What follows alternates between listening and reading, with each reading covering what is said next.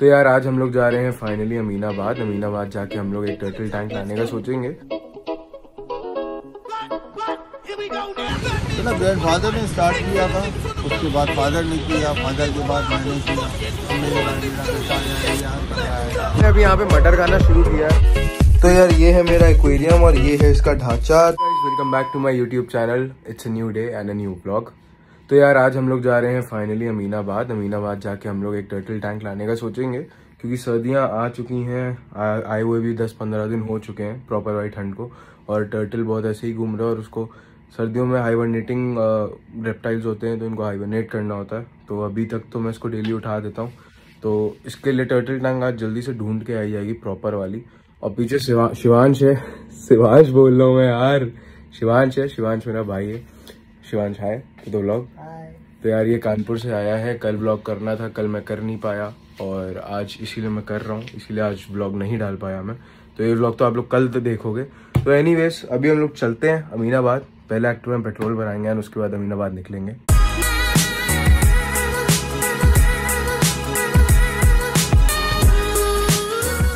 Finally अपना एक aquarium fix कर दिया जो ऊपर पड़ा हुआ है ब्लू ढांचे वाला। और ये हज़ार रुपये का पड़ेगा पूरे बेस वेस सबके साथ में। तो कल वो आके ले जाऊँगा मैं। कल मेरे को मिल जाएगा। तो फ़िलहाल अभी सब ले लिया है शिवान साथ में।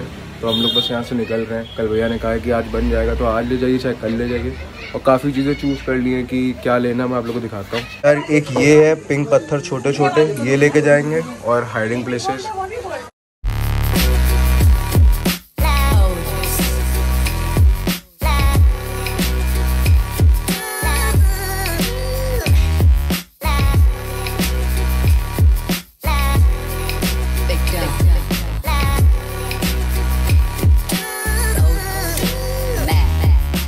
यार मैं अभी यहाँ पे किंग ऑफ़ चार्ट पे खड़ा हूँ जो अपने हजरतगंज में है और 1941 से दुकान चल के आ रही है। और मैं अभी अंकल के साथ खड़ा हूँ जिनकी ये दुकान है। तो यार अंकल से कुछ उनकी दुकान के बारे में पूछते हैं क्योंकि मैं यहाँ बचपन से आता हूँ और एक काफ़ी पुरानी दुकान है। तो अंकल कुछ अपनी दुकान के बारे में आप बताइए कैसे स्टार्ट हुआ था? ना ग्रैंड फादर ने स्टार्ट किया था। उसके बाद फादर ने किया फादर के बाद मैंने किया। मेरे बाद मेरा बेटा आया है यहाँ कर रहा है। तो अंकल क्या मतलब अभी भी वैसी ही पब्लिक है जैसी पहले थी? क्योंकि ये तो हमने भी देखा। नहीं, जैसे गैदरिंग पहले थी वैसे गैदरिंग आज भी है। हमारे पास जी, बहुत बहुत फ़ेमस दुकान है। जितने वी हमारे पास हैं जितने सेलिब्रिटीज हमारे पास हैं सब यही वो जल्दी जल्दी किसी को नसीब नहीं होंगे। वो बात सच है क्योंकि यार मैं भी अपने अपने मतलब बचपन से देख रहा हूँ मेरी मम्मी भी जब छोटी थी तब यहीं तब भी यहीं आती थी। काफ़ी पुरानी दुकान है।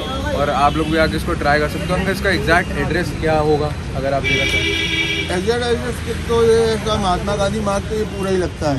एग्जैक्ट एड्रेस ये है कि आपका near metro station K D Singh Babu stadium K D Singh Babu stadium metro station के पास है तो यार यहाँ काफ़ी चीज़ें मिलती हैं। यहाँ पे मटर मिलता है आलू टिक्की मिलती है। मतलब सारी वैरायटी मिलेगी आपको।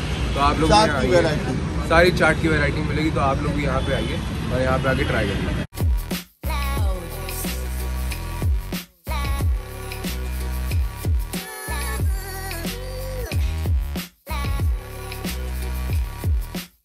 अभी यहाँ पे मटर खाना शुरू किया है और शिवांश को टेस्ट कराया। शिवांश, कैसा लगा?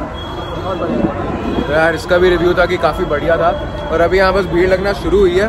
पीछे देख सकते हो। काफ़ी, अभी तो काफ़ी भीड़ है क्योंकि अभी टाइम उतना हुआ नहीं है। बट हाँ समझ लो यार छः साढ़े छः तक ऐसी भीड़ लगती है जो साढ़े सात, आठ तक ऑलमोस्ट सारी चीज़ें ख़त्म होने शुरू हो जाती हैं। तो जब भी आना हो यार टाइम से आना टाइम से आके खा के जाना, काफ़ी सही चीज़ है। मैं कहूँगा कि लखनऊ की बेस्ट चाट यहीं पे मिलती है और कहीं नहीं मिलती। यार, दो दिन से व्लॉग नहीं किया था, उसका रीज़न है कि मैं थोड़ा सा पेन थी तो उसकी वजह से व्लॉग नहीं कर पाया था। सेकेंडली दो दिन के बाद फाइनली कल मतलब मैंने व्लॉग नहीं किया था। कल थोड़ा व्लॉग किया था, पूरा नहीं हुआ था तो अपलोड नहीं किया, कोई यूज़ नहीं था। और मैंने ऐसे यूट्यूब पे एक चीज़ जानी कि टाइम से व्लॉग मतलब एक टाइम का व्लॉग बनाना पड़ता है, वरना बहुत दिक्कत हो जाती है। टाइम पे अपलोड करना पड़ता है, उसमें भी दिक्कत हो जाती है, वरना व्यूज़ नहीं आते हैं। तो लास्ट वाली वीडियो पे तो व्यूज़ ही नहीं आए तो उसको गलती को रिपीट नहीं करना है। तो यार फाइनली आप लोग को मैं दिखाता हूँ, मेरा टर्टल टैंक मैं आज ले आया हूँ। क्या लाया हूँ इसमें क्या नहीं लाया हूँ, आप लोग को पूरा दिखाता हूँ। तो एक बार आप लोग को जल्दी से दिखा के, उसके बाद अपने टर्टल टैंक को सेटअप करेंगे। और एक सरप्राइज़ है वीडियो के एंड में जो आपको मिलेगा। तो यार, ये है मेरा एक्वेरियम और ये है इसका ढांचा, जो मतलब ऐसे एक्वेरियम के साथ मिलता है जो हम लोग अलग से बनवाते हैं। तो ये टर्टल टैंक है, इसमें एक बेस है। मतलब इसको बास्किंग एरिया कह सकते हो। और ये इसकी सीढ़ी बनी है। और इसके साथ मैं तीन पैकेट लाया हूँ उसके पत्थर के।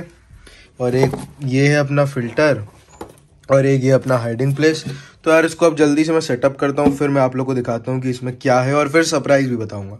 तो यार फाइनली अपना टर्टल टैंक रेडी हो चुका है और हम लोग मैं आपको दिखाता हूँ कि मेरा टर्टल टैंक और हमारे टर्टल टैंक का आउटलुक कैसा आया है। मैं इन्वर्ट करके दिखाता हूँ, क्योंकि इस बार मैंने कुछ थोड़ा इंटरेस्टिंग करने की कोशिश की थी। लाइक स्टोन्स चेंज किए थे, और अभी आप लोग देख सकते हो फ़िश टैंक भी पीछे ग्रीन ग्रीन है। क्यों है?